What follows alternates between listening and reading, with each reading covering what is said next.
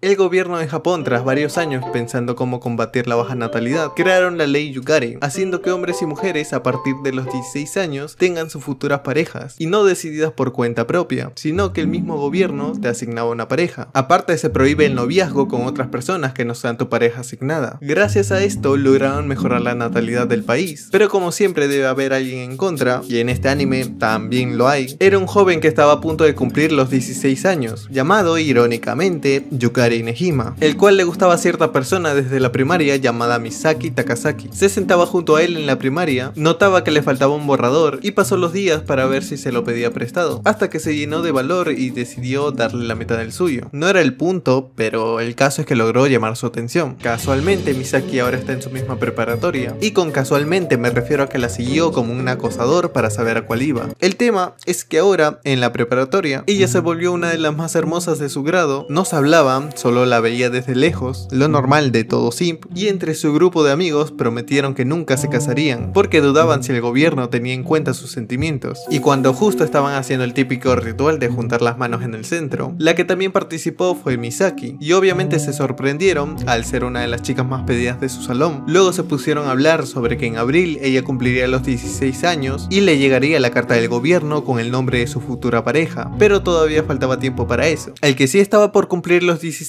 era Yukari. Literalmente era mañana su cumpleaños. Así que se dijo a sí mismo, mañana mismo, a primera hora, me le declaro. Lo intentó, pero no pudo. Así que la citó a las 6 de la tarde en un parque. Estuvo esperando, esperando y esperando, pero no venía y cuando ya estaba por irse, llegó. Se quedaron hablando, ella le decía que si lo recordaba de la primaria por el borrador que le dio, y es entonces cuando el prota le dice lo que siente por ella.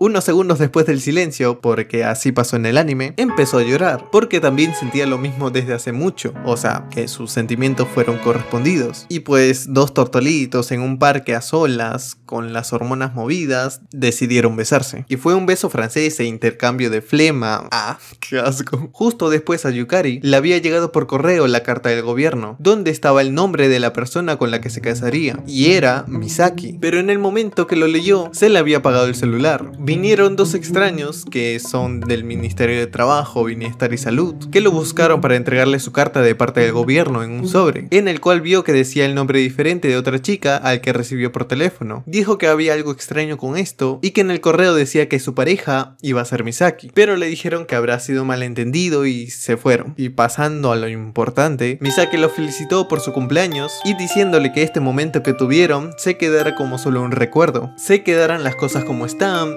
salió corriendo. Él la siguió para abrazarle y decirle cosas cursis. Días después en la preparatoria, Misaki le dijo que todo lo que pasó la otra vez en el parque se quede como solo un recuerdo y vaya a reunirse con su futura esposa, porque resulta que ese día que fue a la preparatoria iba a tener la reunión con su pareja, pero este digamos que le chupó un huevo y no quiso ir. Aunque igual fue porque la escuela se enteró de eso cuando llegó a la casa de su futura esposa, que es esta chica de aquí, llamada Ririna Sanada, que uff, en mi opinión está mucho mejor y el prota no puede negarlo, también se sorprendió por lo hermosa que era. El tema es que cuando se estaban presentando ambas familias, Ririna notó que a Yukari no le interesaba en lo más mínimo, ni siquiera hizo el esfuerzo por fingir interés, cosa que hizo que se empute. Yo me voy, no seguiré soportando esa actitud. Asterisco se va asterisco. Eh, creo que la cagué. Yukari se dio cuenta luego de eso, que ella en realidad quiso escapar para no ir a la reunión familiar. Él también pensaba igual, la diferencia es que no se esforzó por siquiera disimular, así que le pidió perdón por lo de antes. Luego de eso le preguntó en qué pensaba que andaba muy distraído. A lo que le contó que la chica que le gustaba le dijo que lo odia. ¿Cómo reaccionó Rinina con esto? Pues después de contarle toda la historia, ella más que estar enojada le pareció algo romántico, como era la primera vez que alguien le hablaba acerca de un romance. Pero le pareció extraño que fue Misaki la que cambió rápidamente de actitud y decidió ayudarlo para averiguar qué es lo que Misaki realmente pensaba. Sí, con ayuda de la que sería su futura esposa. Así comienza Koito el resumen en minutos. Nuestro prota después de la reunión con los padres de Ririna, él iría a su preparatoria, que era una de puras mujeres, para que lo ayudase con el tema de Misaki. Cuando llegó escuchó de unas estudiantes que le llaman por cierto apodo de burla, y era porque anteriormente no pudo estar en la escuela por el motivo de que se quedó internada en el hospital. El problema es que cuando volvió a la escuela no encajaba muy bien con las demás chicas. Se quedó varios años estando sola y pensaba que ella no era buena para socializar, cosa que el prota no pensó lo mismo, porque era mucho más fácil hablar con ella que con las demás mujeres. Rato después saliendo de su preparatoria, se encontraron con Misaki, así que Ririna con todos los ovarios, la invitó a una especie de cafetería para hablar sobre qué pensaba de Yukari, y Misaki se puso a mencionar muchas weas que le gustan de él, tipo cuando pide solamente la hora y se pone a hablar de toda su vida, pues igual. Yukari escuchó todo lo que decía, y al despedirse, Ririna sintió que había logrado hacer su primera amiga. Pensó también que le gustaba, y no, el prota le dice que no es como si lo hubieses besado en un parque después de confesarle tus sentimientos. Espera, ¿la besaste? Raramente lo único que dijo Ririna de eso fue que la vuelva a besar, y para eso les daría un pequeño empujón. Los invitaría a los dos a su casa, sin que ninguno de los dos lo supiera. Claramente Misaki se sintió algo incómoda, pero decidió quedarse para hacer feliz a Ririna, aunque el único que no pintaba nada ahí era Yukari. Y como dije, la intención de Ririna al invitarlos era que ambos se besen, pero no lo terminaron haciendo porque Yukari se interventiló y eso. Lo que sí notó Misaki es que Ririna le importó un poco el beso que se iban a dar, solo que no lo demostró y solo le dijo que ella es la que debería enamorarse de Yukari, porque es su esposa asignada, cosa que la dejó a ella con tremenda duda y procedió a decirle a él que besa a Misaki todos los días para comprobar si ella sentía algo por él. Días después en la preparatoria, Yukari pensó que Misaki y Nisaka, un buen amigo del prota, que conoció cuando él estaba teniendo una pelea, porque el tipo al ser tan guapo tiene a todas las chicas gritando por él What? Tuvo problemas debido a eso, al tener a la novia de este random pidiendo por él. El tema es que el prota vio que los dos hacían buena pareja. Pensó preguntárselo directamente a Nisaka, pero en el camino se encontró con Misaki, quien también le quería preguntar algo sobre lo que pasó ayer, aunque como era horario de clases, se escondieron para que no los vean y terminaron más cerca de lo que esperaban, cruzando las miradas y con un poquito de hormonas alteradas, terminaron besándose. Y por lo visto lo disfrutaron. Rato después, al acabar las clases, el prota quería preguntarle a Nisaka si sentía algo por Misaki, pero este tenía una reunión con su club, así que lo esperó y cuando terminó encontró al prota durmiendo tan cómodamente. La verdad es que no sé quién duerme en esa posición, pero bueno. Resulta que Nisaka aprovechó que estaba dormido para besarlo, porque efectivamente a este le gustaba el prota y lo hizo porque lo vio a él besándose con Misaki. Y dijo, si ella puede, yo también. Lo bueno es que el prota no se dio cuenta y al despertarse le preguntó a Nisaka si sentía algo por Misaki, cosa que no, como acabamos de ver. Tiempo después Yukari y Ririna esperaban la visita de los del Ministerio de Trabajo, que vendrían a ver cómo iban las cosas entre los dos. Y al terminar le preguntaron a Yukari por dónde quedaba la casa de Misaki. Él pensó que era para entregar la notificación de quién sería su pareja, así que estaba un poco desanimado. Pero al final terminó siendo un asunto familiar que no tenía nada que ver con ella. Por otra parte, la familia de Yukari y Ririna planearon un campamento, al cual Ririna invitaría a Misaki. Y como Yukari no se quería sentir incómodo, decidió invitar a Nisaka. Una vez llegó el día del campamento, Misaki que Ririna se sorprendieron de que lo invitara a él, más Ririna porque anteriormente le había dicho que parecía que todavía era virgen, lo cual le molestó y desde ese día lo consideró como un pervertido, mientras que Misaki y Nisaka tenía cierto problema entre los dos, cosa que el prota confundirá como si tuvieran alguna relación. Ya en el campamento pasan muchas cosas. El prota descubre que Nisaka, aunque sea muy popular entre las chicas, no sabe cocinar. Ririna se torcería el pie, sería cargada por Yukari, que bueno, ella en todo el camino estaría muy avergonzada por el contacto físico. El prota habla de lo mucho que le gustan los túmulos, que son estos sepulcros hechos de piedra, y que de grande se dedicaría a algo relacionado. Por la noche, los cuatro irían en pareja a dar una vuelta por el bosque. Misaki y el prota irían por una ruta en la que terminarían en una posición algo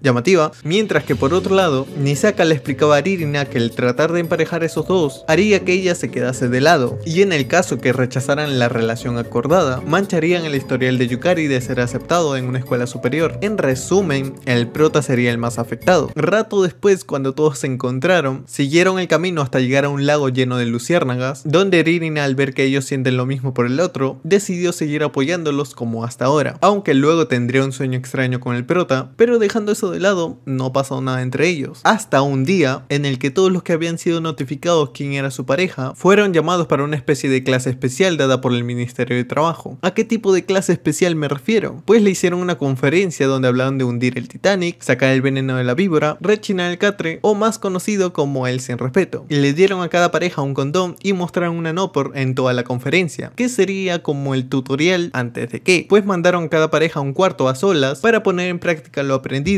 Cuando le llegó el turno al prota, se sintió obligado a hacerlo con Ririna al escuchar que serían penalizados si no lo hacían. Aparte que uno de los del Ministerio de Trabajo le dijo que lo estarían vigilando, aunque esto último era mentira, y lo otro quizás también. Pero el prota se lo creyó y tuvo la genial idea de fingir que lo hacía para que no la penalicen a ella. Lo iba a hacer con buenas intenciones, vaya, solo que no le dijo nada y Ririna estaba muy asustada por lo que hizo, además de que era imposible que los grabaran, cosa que no se le pasó por la cabeza al prota, y provocó que ella tenga miedo de acercarse a él. Después de eso pasaron días en los que dejaron de hablarse. Él notaba la falta que le hacía y estaba un poco decaído, cosa que Misaki notó, por eso quiso hablar con Ririna, la cual le dijo que se sentía extraña al no verlo por mucho tiempo, como que lo extrañaba pues. Eso chicos tiene un nombre, se llama amor, y fue lo que Misaki le quería decir, pero al pensar que si lo hacía ellos empezarían a estar juntos, y pues no lo hizo. Mientras tanto el prota recibió un consejo de parte del supervisor del Ministerio de Trabajo para que se anime a arreglar las cosas con Y digamos que lo logró a medias. Al día siguiente recibió una carta de ella motivándolo para que no esté decaído y pueda seguir apoyando el festival cultural que se daría en su preparatoria, en el cual habría una obra de teatro de Romeo y Julieta, con la diferencia que serían de sexos opuestos, donde participaría Misaki y Nisaka, solo que este último no quería participar por muchas razones. Una era que le tocaría hacer el papel de Julieta en la obra, aparte que la habían obligado a participar, y se la terminó agarrándoselas con Yukari. Pero todo se soluciona cuando aparece el padre de Nisaka, que parece un protagonista sacado de un H. Por otro lado, Misaki estaba intrigada. ¿Intrigada por qué? Estaba pensando que sentía el prota por Irina, así que decidió preguntárselo directamente. Y él ya no sabía que era el amor. Dale flaco, ahora estás dudando si te gusta o no, no seas pendejo. Pero luego de que ella le dijera cómo se enamoró de él y que le gustaba mucho, le hacía muy feliz que haya sido correspondido sus sentimientos terminó aceptando lo que sentía por ella. Tiempo después llegó el día del festival cultural, donde el prota se vuelve a encontrar con Rina, solo que cuando se vieron las caras no podían no estar avergonzados. Misaki y Nisaka actuaron en la obra lanzando los diálogos como indirectas hacia el prota y al final este último se encontró con esta albina llamada Igarashi, que le dijo sobre la notificación que recibió esa noche en el parque que decía que su pareja era Misaki, cosa que en sí es más falso que los aplausos de tus compañeros después de una exposición, y Ririna, que la había escuchado, pensó que no fue elegida como la pareja de Yukari, pero el prota le dijo que ya lo confirmó con el supervisor que le entregó la notificación, que Ririna sí era su pareja real. Sin embargo, había cierta duda sobre lo que dijo la albina esta. Pensaron preguntárselo directamente a Misaki, pero no pudieron. Decidieron cambiar de plan y escribirle directamente a la albina. El prota se iba a hacer cargo de eso, solo que el único problema es que lo había bloqueado. Mientras que por otro lado, Ririna, quien empezó a hacer nuevas amistades, como la de aquí, que no es que destaque tanto, o sea importante para la trama, pero fue la primera que quiso ser su amiga porque había escuchado de ella. Volviendo a lo importante, cuando se enteró que la albina había rechazado la solicitud de Yukari, se encontró con él e intentó hacerlo ella esta vez. Y sí, le terminó aceptando la solicitud. El problema era el prota, evidentemente. Cuando se reunieron con ella, les dijo a ambos que su objetivo era proteger a Misaki. Fue ella la que envió la notificación falsa a Yukari porque desde que conoció a Misaki, se dio cuenta que fingía una sonrisa ante los demás y no dejaba que nadie supiera lo que pensaba. Eso a la albina no le agradaba. Pero cuando habló con ella, se dio cuenta que le gustaba Yukari, porque igual que el prota, ella también lo observaba y quería comprar algunas fotos donde salía él. Ambos son unos acosadores pero increíbles, ¿ah? Así que como ella no podía comprar las fotos a su nombre, la albina le hizo el favor y por fin pudo ver una cara de ella que no era falsa. Decidió desde ese día, tras enterarse de su amor por Yukari, protegerla para que no salga lastimada. En lo que explicaba todas sus razones, llegó el supervisor de la pareja de Yukari y Ririna, que había escuchado todo y le dijo a Igarashi que no se entrometa en la relación de estos dos, y no trate de confundir el amor que nace naturalmente con el amor que crea el gobierno tras asignar las parejas. También le dijo a Yukari y Ririna que la abuela de Igarashi era la que inventó las notificaciones, que eran calculados científicamente para unir a las parejas, y sería ella quien tomaría su lugar algún día. Días después, como la familia de Nisaka había invitado a Yukari, Misaki y a Ririna a la boda de su hermano mayor, como donde obviamente la boda era de una pareja asignada por el gobierno. Además de eso había una especie de evento en el cual Ririna y Misaki serían invitadas a vestir un vestido de novia, cosa que fue incómodo porque la pareja era Yukari y Ririna, pero ahí los tenías a ambos, Misaki gustándole el prota y a Nisaka también. Una vez comenzó la presentación de la boda, Ririna le dio las gracias a Misaki por ser su amiga, que fue gracias a ella y a Yukari que su vida empezó a ser más divertida. Misaki también pensaba que era muy agradable tenerla como amiga, pero por dentro Misaki estaba triste, porque la boda le hizo recordar que ella no sería la que se casaría con Yukari, y el prota notó eso cuando la vio sola en la sala sala de presentaciones de la boda, donde se la terminó besando al verla muy desanimada. Ririna pudo ver eso a través de la puerta, pero no dijo nada y simplemente se fue. Días después de la boda, las familias de Yukari y Ririna planearon un viaje a unas aguas termales, donde esta parejita pasarían buenos momentos juntos, aunque serían los últimos, porque una noche la cual pasarían juntos en la misma habitación, porque las familias así lo planearon. El tema es que Ririna, al sentirse preocupada por la felicidad de Misaki, averiguó una forma para que ellos pudieran estar juntos, la cual era que ambos digan que no se llevaban bien con su pareja asignada, manteniendo esa mentira por meses hasta que los supervisores de su relación lo aprueben y puedan cancelar el emparejamiento entre ellos dos. Pero el pruta entre estar de acuerdo o no es convencido por Ririna para hacer feliz a Misaki, solo que antes ella le pidió un favor, que dicho favor no es cualquier cosa, era si podía practicar dar un beso con él para cuando consiga otra pareja. Él aceptó como último favor, me parece a mí que ambos lo disfrutaron, con beso francés encima, practicar mis huevos se lo quería chapar el prota sí o sí. Después de esa noche pasó una semana y llegó el día en el que Ririna y Misaki irían al evento donde vestirían el vestido de novia al que fueron invitadas. Ahí Ririna le cuenta el plan que ya le había contado a Yukari, pero Misaki no aceptó por motivos que no mencionó, solo que era algo que no podía decir porque quería a Ririna y a Yukari de igual manera. Y justo al estar tomándose las fotos, apareció el prota con todos los huevos, decidió al final quedarse con ambas porque sentía un sentimiento de aprecio por las dos se quedó así como si ambas fueran su pareja. ¿Ya ven? ¿Por qué son infieles? Si se puede hacer trío.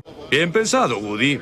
Me gusta tu ingenio. El último capítulo fue básicamente relleno, pero se los cuento porque soy buena gente. Ahí está, qué humilde. Este grupo de cuatro fue a visitar a la abuela de Lirina, donde pasaron el día ayudando con los cultivos, comiendo sandía, y resulta que por ahí había un lugar para realizar una prueba de valor, donde supuestamente había una leyenda de la muerte de una mujer que se había lanzado a un lago, porque no se pudo enamorar, y por eso penaba cuando veía una pareja unida por el hilo rojo del destino. La cosa es que por la noche fueron a ver si pasaba algo. Se dividieron dividieron en grupos de dos. Y al final le había aparecido un perro que se apegó mucho a Yukari. Y fue lo único que apareció esa noche básicamente. Porque en realidad la mujer que se lanzó era la abuela de Ririna. Que la habían obligado a casarse con un completo desconocido. Y al no quererse casar intentó suicidarse. Pero fue salvada por su pareja arreglada. Y desde ese día se enamoró. Cuando llegó el día que su esposo murió. Le dijo que desde que la conoció se había enamorado de ella. Y este perro era la mascota del abuelo. Que esperaba el regreso de este. Pasado toda esa historia había llegado Halloween y la madre del prota organizaría una fiesta. Convenció a su hijo para que invite a Nisaka a cambio de comprarle uno de esos adornos de los túmulos, básicamente lo compró con eso, y también la que iría a la fiesta era Misaki, cada uno se disfrazó de algo, aunque el prota medio trucho su huevada de traje, pero la cosa es intentarlo, ¿eh? Ririna se disfrazó de una especie de Neko Kawaii, pero mi duda es dónde se pone la cola.